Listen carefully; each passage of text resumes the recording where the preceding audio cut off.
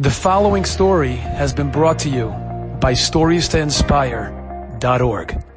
My brother called me from Montreal this past week, and he tells me, Duvi, I have a story for you.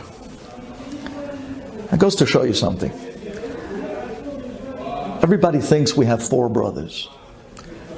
There's really five brothers. There's one brother that we tucked away in Montreal, and we are keeping him under the radar. Nobody to hear or know about the guy. Let him learn. He's a Rosh Koilel out there in Montreal. Let him learn. He's the youngest brother from the pack. Out of the public. This brother, proving that he's also a Ben Shushan, calls me up. I have a story. See, it's it's in the it's in the dam. He calls me up and he says, "I have a story." He said, "Duvi, I want you to hear this." He says, "This Maaseh just happened this past week with a family member of his. He says the the Vishnitzer Kolel came collecting by a family member of my brother through marriage. And they sit and they were talking to the Balabas and they were telling him how many Avrechim and how much learning is going on with Hatmada, how many Masechtot they finished. This is a real Kolel, and they're collecting to be able to support the Kolel. Two gentlemen come in to collect. So the Balabait, he says, okay, I always help the Vishnitzer Kolel. I'm close with the Vishnitzer Rebbe in Eretz Israel. He pulls out a check and he starts writing out a nice check to give to the Kolel.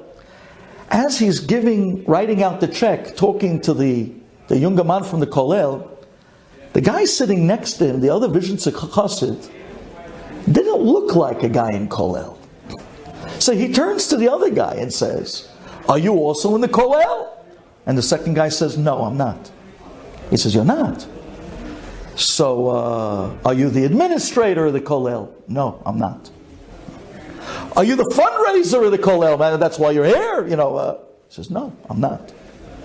He says, Do you have anything to do with the Kolel? He says, No. He says, well, why are you here? He says, It's funny you ask.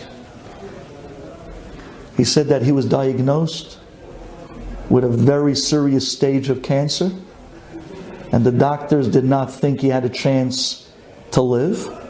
They gave him a few days. He went to the Vision Rebbe and he told him his, his situation. And the Rebbe told him, when the Avrechim of the Koilel go around to collect money for the Torah of the Koilel, you go with them from house to house. And the schus of the Torah of Hachzakat Torah will envelope you and you will not be touched. He says, I've been doing this already for six months. I was supposed to be gone five months and 23 days ago. And I'm still going strong. Baruch Hashem, healthy. Baruch Hashem, walking around from house to house, collecting for the Vision Koil with this younger man. I have nothing to do with the Koil.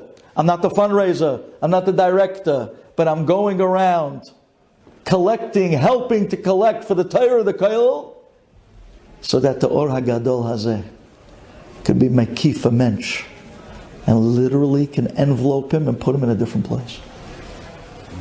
That's unbelievable. It's unbelievable.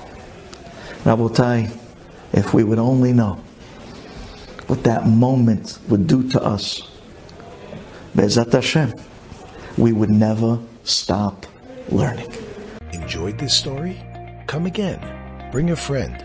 Stories to inspire.org.